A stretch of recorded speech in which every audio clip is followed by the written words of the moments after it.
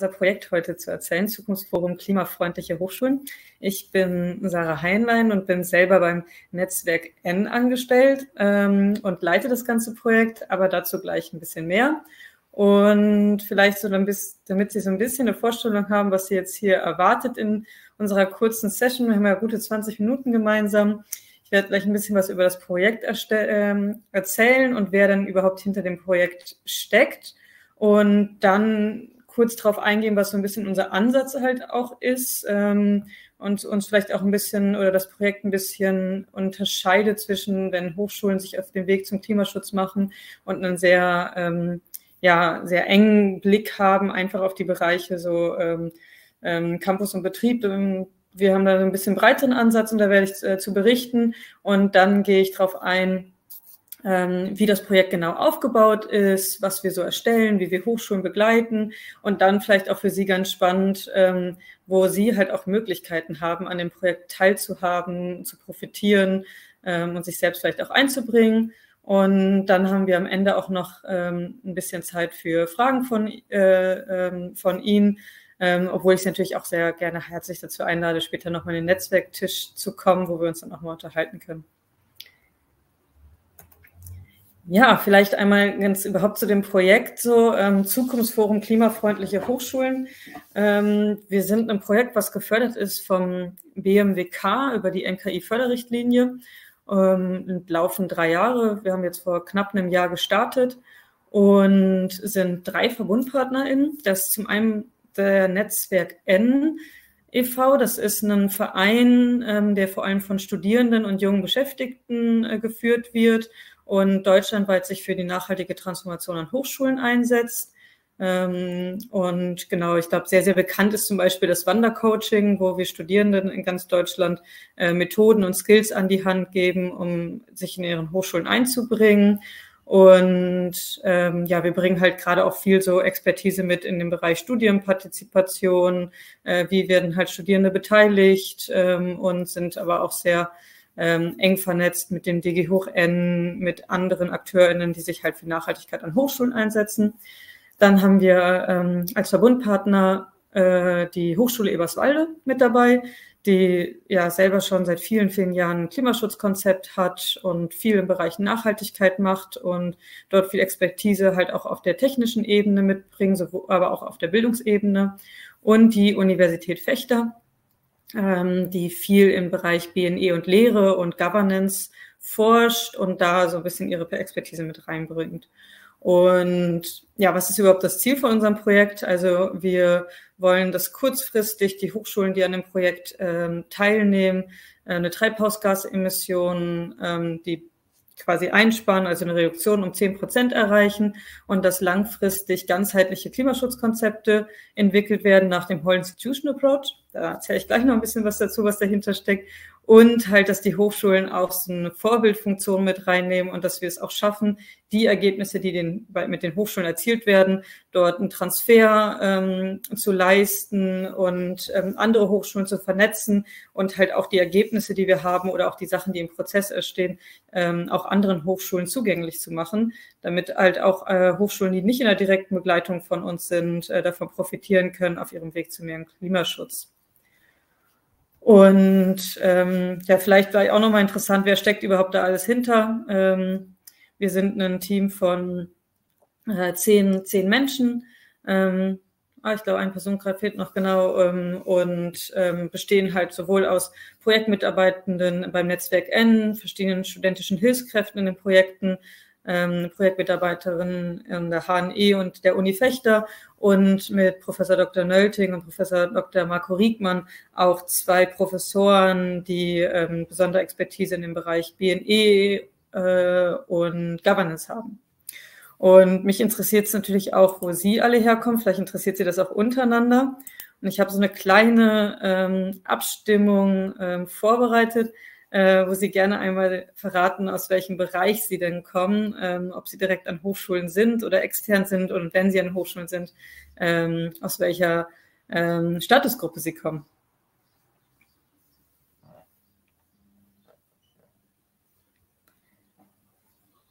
Ich lasse es mal so ein bisschen parallel laufen und gehe da gleich kurz äh, drauf ein. Ähm, kann auch ein bisschen was bei den Hochschulen erzählen, wenn wir mit denen unterwegs sind, wer da denn immer mit uns zu tun hat.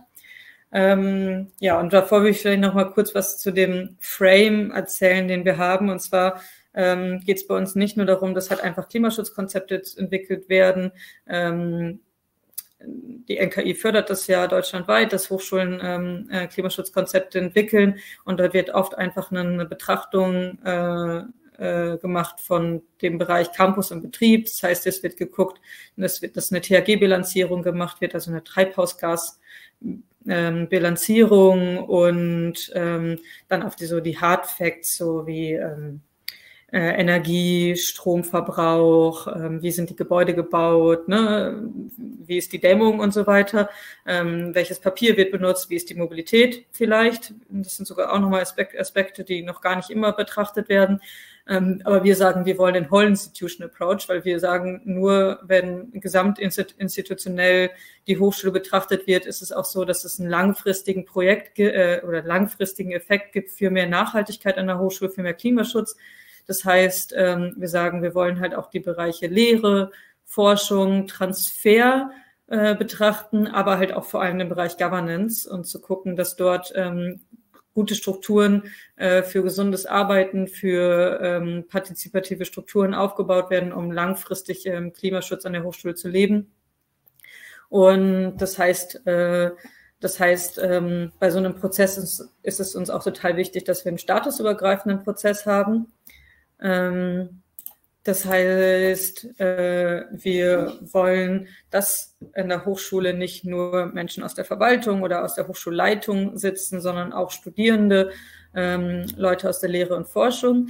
Ich sehe jetzt gerade hier heute auch, es sind viele aus der Verwaltung äh, dabei. Ähm, wir haben aber auch, ähm, genau, von jeder Hochschulgruppe, das finde ich ziemlich schön, dass aus jeder Gruppe heute mindestens eine Person da ist. Und äh, das ist auch an unseren Hochschulen, die wir begleiten, häufig so, dass, ähm, dass äh, äh, die größte Gruppe äh, Menschen aus der Verwaltung sind, was auch sehr wichtig ist, dass dort halt auch ähm, Leute aus den verschiedenen Positionen einbezogen werden. Ähm, aber dass wir halt auch immer Leute aus der, Stud ähm, äh, aus der Studierendenschaft und aus der Hochschulleitung dabei haben. Und ähm, ich weiß gar nicht, ob man das jetzt anklicken kann. Den Link kann ich am Ende auch nochmal ähm, zur Verfügung stellen. Das ist nochmal ähm, auch ein, oder ich erzähle da ein bisschen zu, wo das überhaupt drauf liegt. Ähm, dieser Link, der führt nämlich zu einem Wissenspool, den wir in dem Projekt ähm, erstellen, äh, wo was für den Bereich Studierendenbeteiligung drin steht. Ähm, und man muss halt auch sagen, dass das wirklich so ein bisschen der der anspruchsvollste Punkt, sogar einer der anspruchsvollsten äh, Punkte ist, dass gerade diese, diese breite statusübergreifendes Arbeiten ähm, gar nicht so einfach ist, weil oft manchmal auch so Beteiligungsmöglichkeiten fehlen an Hochschulen oder auch Studierende, also ähm, Studierende zu finden, die sich in, in solchen Prozessen engagieren, ähm, gar nicht so einfach sind, gerade an kleineren und mittleren Hochschulen im ländlichen Raum. Ähm, genau, das habe ich nämlich noch gar nicht erzählt. Ähm, der Fokus bei uns liegt halt eher auf kleineren und mittleren Hochschulen, also bis zu 10.000 Studierenden, ähm, weil wir auch sagen, das sind Hochschulen von der Größe, die ähm, wo wir auch in einem kurzen Projektlaufzeit gute äh, Ziele ähm, erreichen können, aber wo halt auch diese, diese Vorbildfunktion der gesamten Institution eine größere Rolle spielt, ähm, weil dann gerade ne, Hochschulen in, klein, in, kleinen, kleinen Kommunen äh, eine sehr große ja, Strahlwirkung in die Region rein haben. Und wir haben uns halt bewusst entschieden, dass wir sagen, hey, wir wollen dort diese Ansätze fahren, obwohl die natürlich auch übertragbar sind auf größere Hochschulen und auch auf Hochschulen in, in, in, in urban, urbanisierten Räumen. Genau, und wir äh, betreuen zurzeit acht Hochschulen ähm, ähm, Im ersten Zyklus haben wir gestartet ähm, im Winter mit den ersten acht Hochschulen und äh, wir fangen jetzt im Herbst mit dem zweiten Zyklus an. Das heißt, ähm, für den zweiten Zyklus gibt's äh, noch offene Plätze. Das heißt, Hochschulen können sich bewerben, wenn sie Interesse haben, wirklich direkt an dem Projekt dran teilzunehmen. Äh, wir werden eine Bewerbungsphase machen im August, September. Da können sich dann Hochschulen in so einem digitalen Fragebogen bewerben. Das ist relativ niedrigschwellig gestaltet. Und uns geht es auch nicht darum, dass die Hochschulen schon ganz viele Bausteine umgesetzt haben, sondern das Wichtigste für uns ist zu sehen, dass es ein breites Interesse und Beteiligung an der Hochschule gibt. Das heißt, dass alle Statusgruppen auch wirklich wollen und dass äh, dargelegt wird, dass es halt ein Prozess ist, ähm, der quasi erfolgsversprechend ist ähm, und da großes Interesse an der Zusammenarbeit ist. Und ähm, genau, aber welche Ressourcen schon da sind oder was schon umgesetzt wurde, ist halt ähm, nicht so von hoher Priorität, um an dem Projekt teilzunehmen. Ähm, und wenn Hochschulen teilnehmen, ähm, genau, gibt es so verschiedenste Angebote, die es, die es von uns gibt. Ich gehe da jetzt gleich so ja, hier einmal in der Roadmap drauf ein, aber gleich werde ich das nochmal detaillierter im Begleitprozess zeigen. Es gibt so ganz grob drei Bereiche, ähm, die wir anbieten für die Hochschulen. Es gibt halt einmal so obligatorisch für die Hochschulen, das sind Veranstaltungen, die an den Hochschulen auch stattfinden. Ähm, das ist ein gemeinsamer Kickoff. Äh, bei den Hochschulen haben jetzt gerade die Kickoffs alle stattgefunden. Da haben wir einen statusübergreifenden ähm, ähm, Workshop gemacht, meistens wir so mit 20 Personen, wo es so ein bisschen um das Kennenlernen des Projekts geht, um Visionfindung des Projektes geht. Ähm, das ist sozusagen der erste Präsenzworkshop. Dann gibt es dann folgende weitere Präsenzworkshop, die die ähm, Hochschulen begleiten in ihrem Prozess, wo dann halt immer zu bestimmten Meilensteinen in Workshops ähm, ja, Themen erarbeitet werden. Und dann gibt es zwischendurch, also insgesamt zweimal Zwischen äh, Konferenzen, die eine Konferenz wird jetzt am 13.09. in Eberswalde stattfinden, wo alle Hochschulen oder alle Interessierten herzlich eingeladen sind. Also nicht nur die, die am Projekt teilnehmenden Hochschulen, sondern auch Hochschulen, die vielleicht schon selber sehr weit im Prozess sind oder sich auf den Weg machen wollen oder sich einfach austauschen wollen zum Bereich Klimaschutz an Hochschulen, sind da eingeladen. Und das ist jetzt im September und dann im April 26 zum Ende des Projektes wird es das nochmal geben. Das sind so obligatorische Bausteine. Und dann gibt es verschiedene Bausteine, die wir halt, ähm, die für die Hochschulen ähm, bei Bedarf ähm, angeboten werden und die zum Teil auch geöffnet sind für alle Hochschulen, die Interesse haben. Das ist einmal haben wir monatliche Sprechstunden, wo man herkommen kann und sich einfach austauscht. Dann ähm, bieten wir, ähm, haben wir einen Wissenspool. Ähm, ich stelle mal den Link einfach ich stelle mal einfach den Link in den Chat, dann ist es am leichtesten zu sehen. Das ist ein Wissenspool, äh, den haben wir angesiedelt beim DG hoch N. Ich weiß jetzt nicht, ich glaube, dass wahrscheinlich bei den meisten der Begriff DG hoch N äh, bekannt sein wird. Ähm, das ist ein Zusammenschluss oder ein, Dachverband für ähm, Hochschulen im Bereich Nachhaltigkeit die gemeinsam deutschlandweit äh, ähm, auch auf ähm, Hochschulleitungsebene und Professorinnen-Ebene arbeiten ähm, für mehr Nachhaltigkeit an Hochschulen und die haben ein Wiki und dort an das Wiki angesiedelt haben wir äh, das Wiki von unserem Projekt, äh, wo es halt mannigfaltige Informationen gibt rund um Klimaschutzkonzepte und wie die entwickelt werden. Äh, und es wird wachsen über die Zeit, also es wir sagen, das ist jetzt mit 15 Prozent gefüllt oder so und das wird in den nächsten drei Jahren wachsen. Da können Sie viele Informationen finden und die Hochschulen natürlich auch. Ähm, und ähm, dann gibt es regelmäßige digitale äh, Workshops, die auch geöffnet sind, das heißt auch für, für Sie. Ähm, wenn Sie zum Beispiel über den Newsletter sich anmelden, kriegen Sie auch immer die Termine zugeschickt und ähm, können an den Workshops teilnehmen. Ähm, das kommt später nochmal, aber ähm, äh, nächsten Dienstag gibt es zum Beispiel einen Workshop zum Bereich Gebäudemanagement. Und ähm, dann stellen wir natürlich verschiedenste Materialien für die Hochschulen zur Verfügung. Und was dann auch noch spannend ist, ist, dass wir eine komplette Schiene haben für äh, die äh, für das Empowerment von Studierenden, weil gerade für Studierende ist es manchmal gar nicht so einfach, äh, so an solchen Prozessen sich zu beteiligen und einzubringen. Es gibt sowohl zum Beispiel ein Wissensgap als auch einen Hierarchiengap so für die und manchmal gibt es auch gar nicht die Formate, wo sie sich wirklich einbringen können. Ähm, und wir ähm, unterstützen deswegen die Studierenden an den Hochschulen nochmal gesondert. Das heißt, wir haben immer zum Anfang jedes, Zyk jedes Zykluses, also wir hatten das jetzt im Januar und der beim zweiten Zyklus, der wird ja im Herbst starten, das heißt im Dezember werden wir das nochmal machen, dass wir eine Empowerment-Schulung haben, wo dann die Studierenden von allen Hochschulen zusammenkommen an einem Ort das wird komplett finanziert und wir die Studierenden Wissen und äh, Skills an die Hand geben. Und dann werden die Studierenden individuell betreut von sogenannten Buddies, äh, die die Studierenden dann ähm, ja bei offenen Fragen helfen, auch mal zu den Studierenden vor Ort hinkommen, um Empowerment-Tage durchzuführen und dann auch nochmal gesonderte ähm, Austauschformate für die organisieren und Inputs. Ja. Genau, übrigens, ich ähm, hoffe, dass ich nicht zu schnell oder so erzähle. Also wenn Sie mal Fragen haben, direkt in den Chat einfach schnell rein. Ähm, aber genau, jetzt kommt vielleicht nochmal sehr interessant, wie sieht das denn dann konkret aus? Also wie ist denn so dieser Begleitprozess?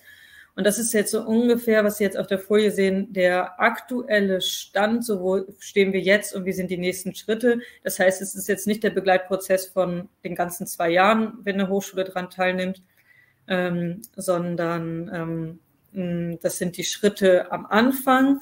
Also es startet ja mit dem, mit dem Kickoff und dann ähm, kriegen die Hochschulen von uns verschiedene Sachen an die Hand gegeben. Also sie werden darauf be dabei begleitet, eine THG-Bilanzierung durchzufinden. Ähm, da arbeiten wir, kooperieren wir mit ähm, äh, Beilkalk und Klimax. Das sind ähm, Tools, die in ähm, Sachsen-Anhalt und in Bayern genutzt werden und dort an den Hochschulen sehr etabliert sind. Und wir begleiten die Hochschulen, ähm, diese Tools zu nutzen, um selber eine Bilanzierung zu machen. Wobei es nicht verpflichtend ist, diese Tools zu nutzen. Also wenn man sagt, ich finde ein anderes Tool besser, ist es auch okay. Aber da bieten wir explizit auch nochmal Begleitung an. Dann kriegen die Hochschulen qualitative Fragebögen zu diesen verschiedenen Handlungsfeldern, die ich ja vorhin vorgestellt hatte. Also ob das Transfer ist, Lehre ist, ähm, Governance ist, um qualitative Daten zu erheben, um die, den Status quo zu beschreiben. Und wir stellen digitale Umfragen äh, zur Verfügung, wo dann die Hochschulangehörigen angefragt werden, wo dann auch Bereiche wie Mobilität von, von, von den Hochschulangehörigen abgefragt werden und so weiter. Und all diese Daten fließen in einen Status Quo-Bericht ähm, ein. Und diesen Status Quo-Bericht, ähm, diese ganzen Vorlagen liefern wir den Hochschulen auch. Ähm, und dann geht's halt über Schritte von verschiedenen Analysen, Akteursanalyse, Bedarfsanalyse, Potenzialanalyse, ähm, geht es dann schrittweise dazu, dass halt so der Status quo dargestellt wird und geguckt wird, welche Potenziale gibt es. Ähm, und danach geht es halt dann in die Maßnahmenentwicklung und da stehen unsere Hochschulen gerade. Also die Hochschulen, die jetzt gestartet sind, sind alle dabei, gerade diese Analysen durchzuführen und die Status quo-Erhebung abzuschließen ähm, um dann gut vorbereitet zu sein in einem Prozess der Maßnahmenentwicklung, wo wir geguckt haben, dass da auch eine breite Beteiligung erreicht wird und verschiedene Statusgruppen und verschiedene ähm, Bereiche an den Hochschulen halt auch ihre Maßnahmen mit reinbringen. Genau, und vielleicht, wenn Sie jetzt sagen, boah, das geht jetzt aber alles ziemlich schnell und diese ganzen Schritte, wir werden halt sowohl in den Wissenspool als auch in einen gesonderten Leitfaden diese ganzen Schritte reinpacken. Das heißt, es wird am Ende des Projektes einen Leitfaden geben, der für jede Hochschule äh, frei verfügbar ist, wo all diese Schritte drin sind, wo auch die ganzen Begleitmaterialien, also die qualitativen Fragebögen oder wie haben wir die Online-Fragebögen, ähm, welche Fragen sind da drin, das wird alles in diesen Leitfaden reinkommen ähm, gesammelt mit Good Practice Beispielen, die wir jetzt an den Hochschulen sammeln und das wird dann zur Verfügung gestellt. Ähm, aber Sie können auch, wenn Sie sagen, boah, der Leitfaden dauert jetzt aber noch zwei Jahre, ich will aber jetzt schon, ich will vielleicht als Hochschule nicht begleitet werden, aber ich finde irgendwie, habe Fragen oder so, immer gerne auf uns zukommen ähm, oder auch zu den Sprechstunden Anfragen dazukommen. Ähm, genau, also wir können nur 15 Hochschulen eng begleiten, aber wir wollen natürlich so eine Blaupause für, für ähm, Hochschulen in ganz Deutschland erarbeiten und ähm, sind dann natürlich auch im engen Austausch mit Hochschulen, die schon ähm, Klimaschutzkonzepte entwickelt haben. Aber wie gesagt, in der Regel sind es keine Whole Institution äh, Approach, also keine ganzheitlichen Klimaschutzkonzepte. Und gerade da liegt halt bei uns auch so ein bisschen dieser innovativere Ansatz. Ja, ich glaube, jetzt habe ich schon, wir haben noch, genau, jetzt vielleicht ganz kurz nochmal, ähm, hey, was gibt es denn nochmal für uns? Also wenn, wenn ich jetzt nicht direkt an Projekt teilnehme, können Sie natürlich auch mir gerne auch eine Mail schreiben unter ähm,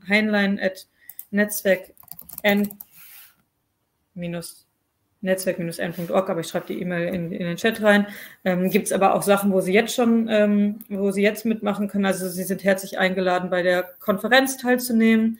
Ähm, Sie können den Newsletter abonnieren. Ähm, da kommen Sie auch über unsere Homepage vom Netzwerk N, ähm, können Sie den Newsletter auf dem, bei der ZKH-Seite finden. Sie können den Wissenspool nutzen, sind herzlich eingeladen, zu den, zu den digitalen Inputs zu kommen, die wir regelmäßig anbieten, also ungefähr so drei Stück pro Semester.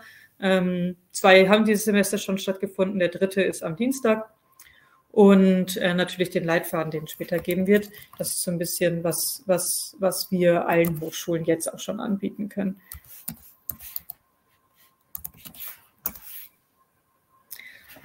Ähm, ich schicke gerade die Links so ein bisschen nochmal in den, in den Chat rein. Ja, und ähm, jetzt habe ich äh, genau ein bisschen was erzählt, äh, sehr schnell durch, aber ich hoffe, Sie konnten gut folgen. Aber ich will Sie natürlich auch gerne nochmal zu aufrufen, ob, ähm, ob Sie Fragen haben und stellen Sie die gerne in den Chat rein oder sagen, ich würde aber auch gerne das persönlich fragen, dann können Sie sich auch gerne hochschalten.